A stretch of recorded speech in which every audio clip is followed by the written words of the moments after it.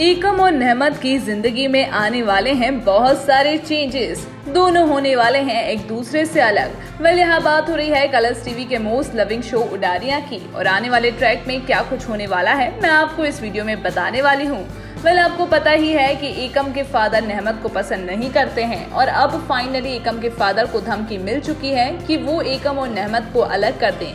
जिसके बाद एकम के फादर फाइनली डिसीज़न बनाते हैं कि वो नहमत के घर जाकर नहमत के लिए बोलेंगे कि उसे एकम से अलग रहने को।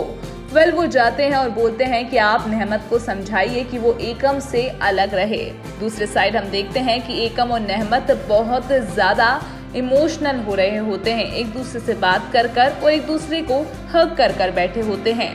वहीं अब देखने वाली बात ये होगी कि एक थर्ड पर्सन की एंट्री होने वाली है, जो कि सूट बूट में एंट्री करने वाला है। और क्या उसके कारण भी एकम और नहमत की लाइफ में प्रॉब्लम्स क्रिएट होंगी?